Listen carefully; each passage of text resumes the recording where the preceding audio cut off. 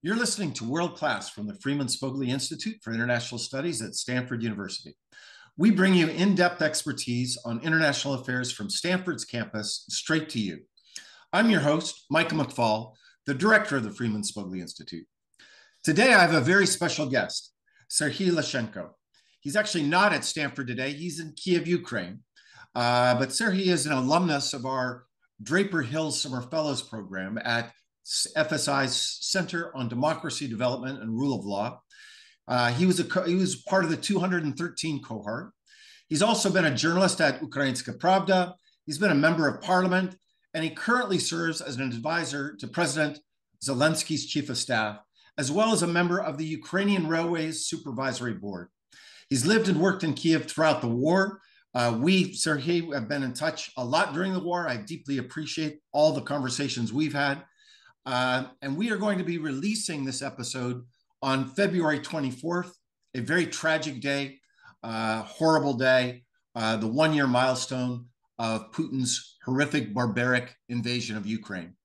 Uh, but to do so, we want to reflect on what has happened so far and where we think uh, the war is going. And Serhiy, we're very delighted to have you on World Class today. Thank you, Mark. Thank you, the have this project to be part of the group on sanctions together with the Ukrainian Office of President. And thank you for everything has been done uh, for Ukraine by uh, you, have been done for Ukraine by you. And uh, like year ago, we started to exchange the messages uh, extremely often. And now we, we see that our cooperation has very visible impact. So thank you for joining the process and being one of the most of the vocal advocates of Ukraine in the world. Thank you very much. And Thank you for inviting me. Well, I appreciate those kind words. I don't know if they're deserved, but thank you. Let's just start with a uh, to set the tone. Tell tell our listeners and our viewers what's the mood right now in Ukraine and what's the mood in the capital. You travel a lot, I see on social media. Uh, you've been to different parts. I remember you taking a train to Kherson right at the very beginning of the liberation of Kherson. What, how would you describe the mood in general uh, as as your country now has endured one year of this invasion from Russia? I can say directly that it's complicated. You know, I would like to say that you know, everyone is you know excited and uh, like very supportive for Ukraine, but at the same time, we have to be fair and saying that people exhausted, soldiers yes. super tired, super exhausted, our army needs ammo. It's really what President said a year ago. We don't need right, we need ammo. It, he was saying this on behalf of all Ukrainians. And this uh, war is uh, very difficult to predict when gonna be finished. We are facing a new wave of Russian aggression uh, with the idea to complete the process of Donbass occupation, because for Putin it would be, as he believes, one of the face-saving solution to declare the end of this so-called special military operation and to keep all occupied territories under his control and to call the world to stop supporting Ukraine uh, after the achieving of this uh, goal. So uh, the mood in Ukraine this winter was difficult because uh, they started to attack um, infrastructure of electricity supply, civilian infrastructure, right. and uh, it uh, made life very difficult. At the same time, Ukrainians passed through this successfully. We, we see that it was complicated, but it was very, you know, historical moment to to stay even in Ukraine. It was historical mission, not just to fight on the front line, which is of course, I believe one of the bravest jobs in the world during last uh, 70 years after the end of the Second World War. But even to stay in Ukraine is difficult. I know a lot of people decided to spend at least the winter outside right. just to access to basic basic needs, and uh, Ukrainians survived. It's really important to say that all plans of the Putin were not fulfilled and were not complete, but at the same time, Ukraine has shown that we are able to fight the second most powerful army in the world. And this is a service Ukraine provided to the democracy because it's not just about our territorial integrity, but about values which your state also based on. Well, I could not agree more with that. And I think it's important for people to remember that here in the United States, that this is not just a fight between two European armies far away. It's a fight between an autocracy versus a democracy. Uh, it's a an imperial war. You know, we thought we got rid of imperialism uh, after World War II, but now it's back, and and then annexation. That is also something we thought we got rid of. And, and I just have to say, as an American who believes in those values, it is uh, awe-inspiring to watch what you're doing, not just for your own security, but for democracy around the world and for the, the rules-based international order that we we seek to preserve. Let's let's talk a little bit about just dig in a little bit more. Is, are people in Ukraine just getting used to war? Tell us what a day to day is. The sirens go off, the electricity goes out. Does it is it become ritualized now, or is it still not? Of course, it's still complicated. At the same time, it's very interesting phenomenon to, to, to learn, to study how people can accept new reality and uh, survive in new reality, which can be very difficult. At the same time, uh, Ukrainians eager to have our own state and uh, to stay in this country, not to travel abroad. And it means when uh, attacks against electricity infrastructure started in the middle of October, in few weeks, uh, if you walk through Kiev, through the center, uh, you can hear the noise of generators. Right. So Ukrainians extremely self-organized to buy all generators everywhere it could be possible to do. The same as it happened during the first uh, weeks of the war when Ukrainians bought all pick-up vehicles and SUV cars everywhere in Europe to buy these cars for Ukrainian soldiers on the front line. And they're just and buying them by themselves, right? It's all yeah, buying by themselves. I'm part of volunteer movement. We bought, I believe, more than 100 pickup and SUV cars for the front line, visiting our uh, brigade on the front line in Donbass region regularly, like twice a month. And uh, we know how extremely difficult now to find any pickup vehicle in Europe, even in UK, where they have uh, different way to rule the, the road, you know, by right. car. Right. And uh, this huge deficit means that Ukrainians self-organized very well, the same as it happened with generators. And uh, it's national idea, of course, uh, for Ukrainians, not just to survive, but to build new Ukraine with completely different reputation and with completely different opportunities for all Ukrainians. And very important to say that president is a role model for this. So he is extremely modest. He live he lives in uh, office of president for one year. They wear the same, the same, um, let's say uniform or uniform, wardrobe, right. the yes. same, the same T-shirt, the same um, hoodie, the, the same um, sweatshirt, to show that he is a part of this movement. And uh, he is not an army man; he cannot wear army uniform, but uh, he's trying to identify himself with he's he's showing that he identify, identifying himself with army wearing these green t-shirts and green uh, hoodies. And it's also very important for dress code you know. I think it will have global impact even uh, it's going to be fashionable in some sense to wear like zelensky wears.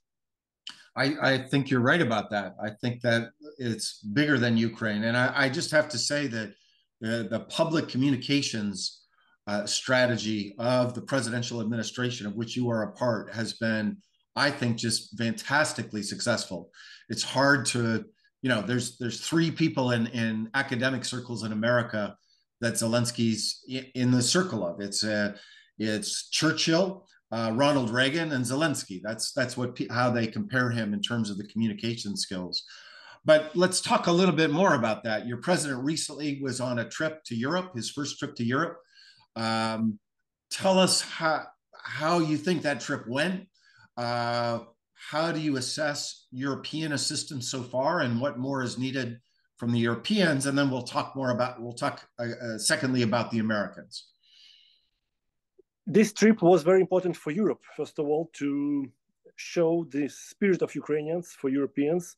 You know, I think uh, Europe lost a little bit themselves during the last few decades right because internal crisis because of uh, uh, destabilization uh, inspired by russia because of the fake news and propaganda because of uh, russian money working in uh, european politics because of different issues And now Ukraine, uh, if I can say, Ukraine provided the sense for Europe to exist united. You know, right. this is the moment for self uh, inspiration because Europe now has some example on uh, values. The European Union was founded 70 years ago, 70 plus years ago, to show that this is the same values, very important, very visible, and very valuable somewhere very next to Europe.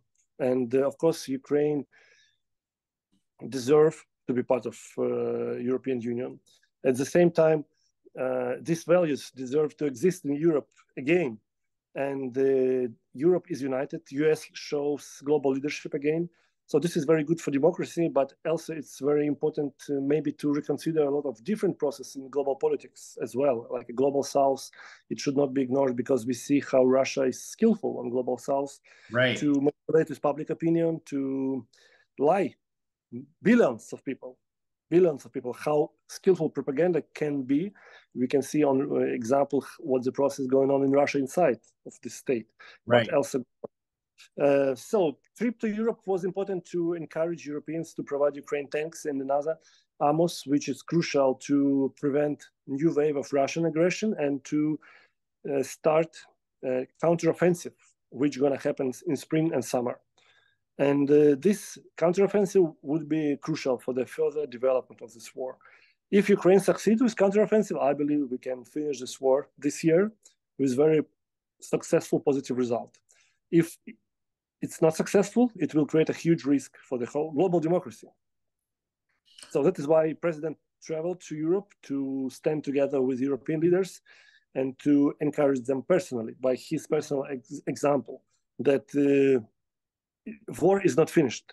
When Kiev was deoccupied, the Kiev region was deoccupied a year ago. For many people, it was the moment they believed the war is over. No, we are far away from the end of the war. Unfortunately to say it, but we need support of the West. Right.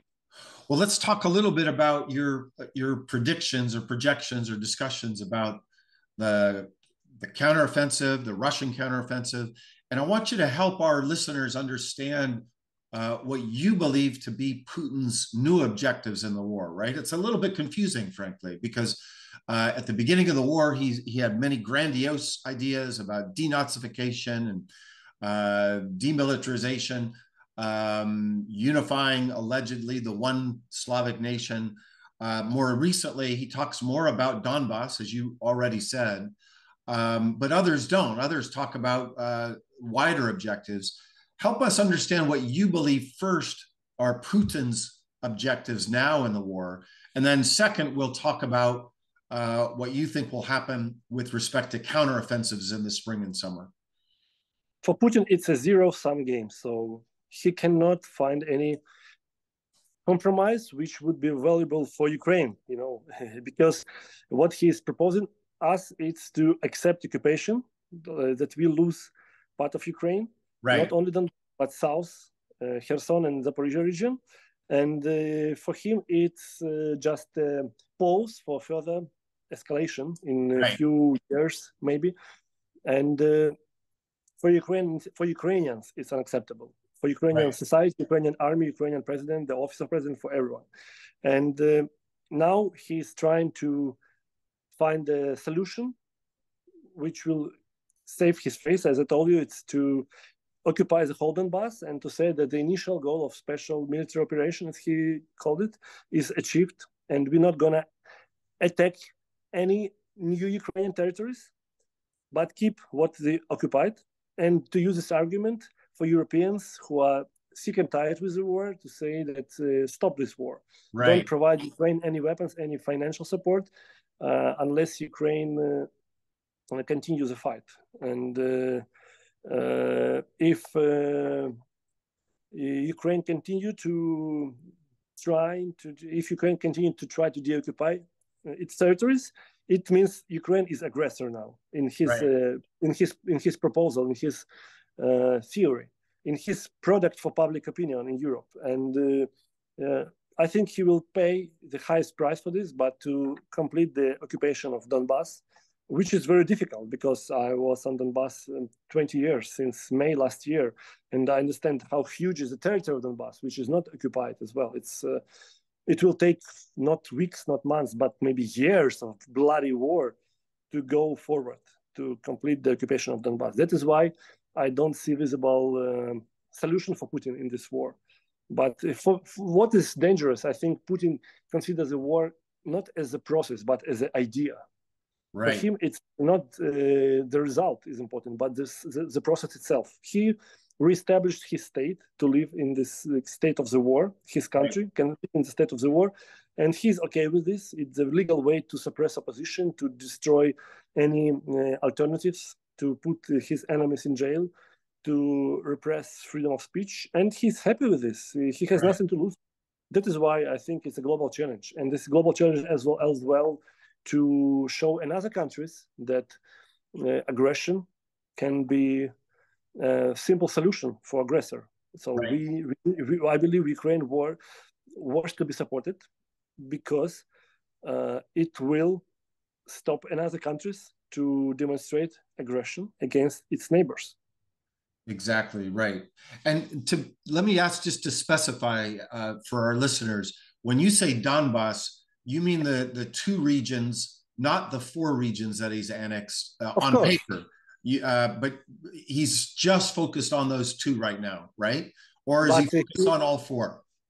I I believe he is uh, focused on Donbass, but he's not ready to uh, leave the territories occupied right. before. I mean, right. Kherson region, which is mainly occupied, and Zaporizhia region, big part of this territory, including nuclear power plant, is right. occupied by, and the nuclear power plant keeps the whole Europe as a hostage of this war because there is a six nuclear power stations in one on one station, like six Chernobyl in on one, on one station. It's a huge, it's the biggest nuclear power plant in Europe, which of course cannot be part of uh, any uh, military operations or war fight at all because right. it's the price too high.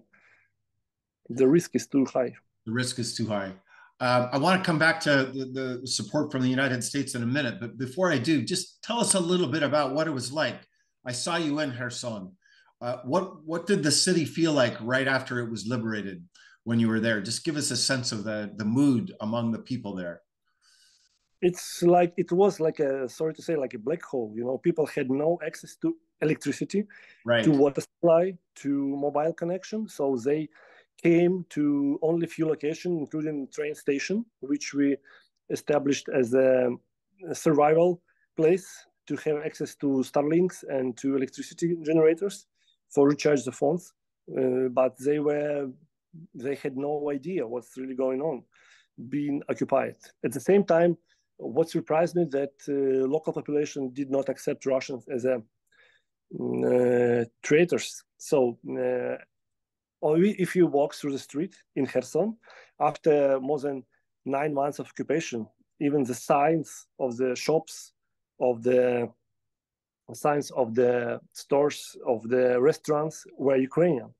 So it wow. means that local small medium enterprises did not change the signs, keep kept them in Ukrainian language because they did not uh, want to change the identification. Right. The only few locations changed the branding. It was university, uh, local university changed uh, into turned into Russian, and uh, maybe a lot of billboards with propaganda of fake referendum, which happened in uh, fall last year mainly people stayed with Ukraine in their hearts, and there were very touching moments when some Ukrainians on video uh, discovered the flags in the soil. You know, when they put these flags into the soil, uh, like secreted to keep them uh, uh wow. hidden until Russia leaves the territory or territory is deoccupied.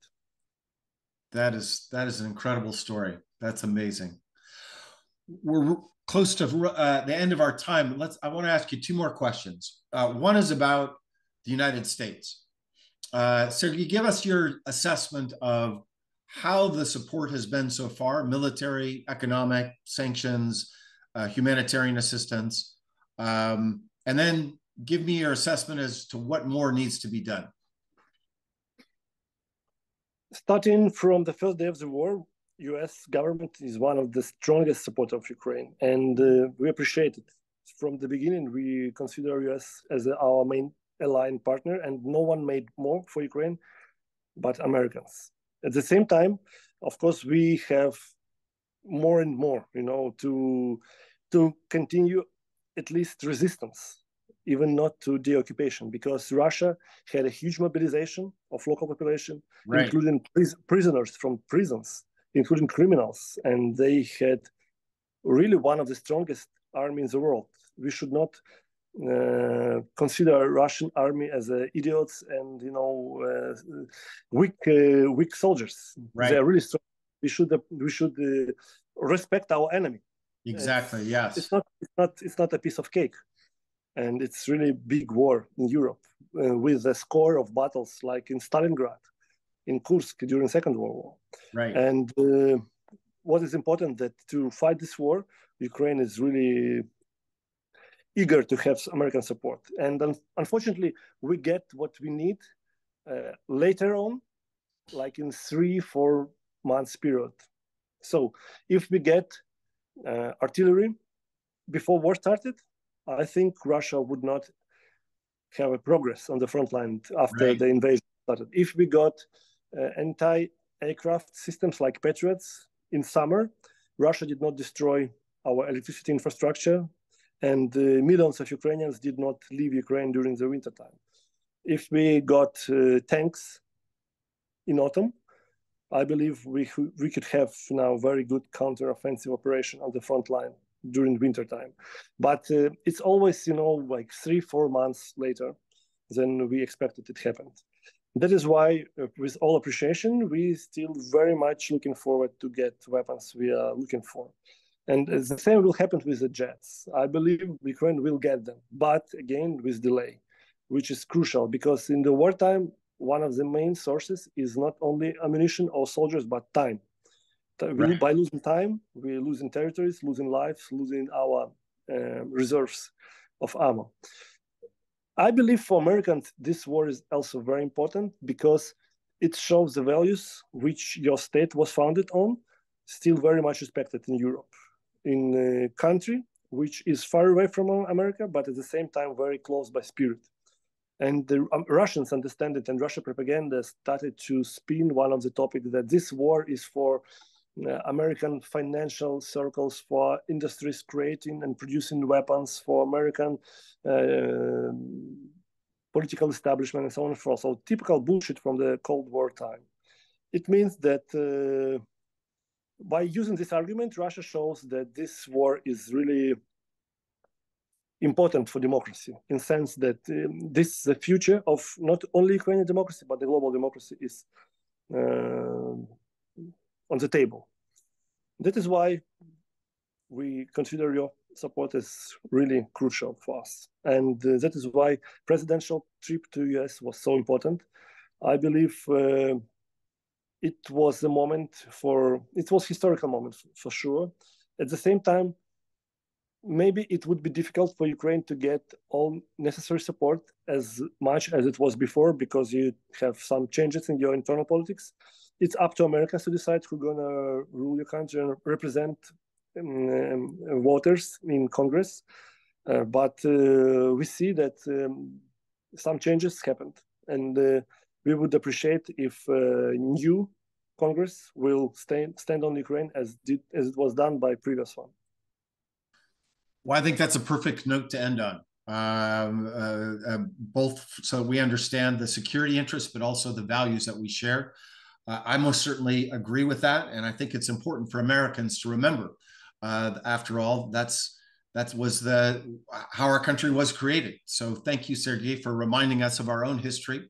Uh, thank you for joining uh, us here. I, I, I, had no idea to use this argument with kind of pretext, but only to show that we have we're standing on the same on the same basis. Exactly, exactly. Well, thank you for joining us. Um, Slava Ukraine. Uh, we appreciate we appreciate your role and your role of American citizens, American government. Well, and let's hope we can get you back on. Let's just do this more frequently. I think it'd be great for our listeners to hear more often from you, and we'll do that in the in the coming months. With all my pleasure. Thank you, Mike. Okay. You've been listening to World Class from the Freeman Spogli Institute for International Studies at Stanford University. If you like what you're hearing, please leave a review and be sure to subscribe on Apple, Spotify, or wherever you get your podcasts to stay up to date on what's happening in the world and why.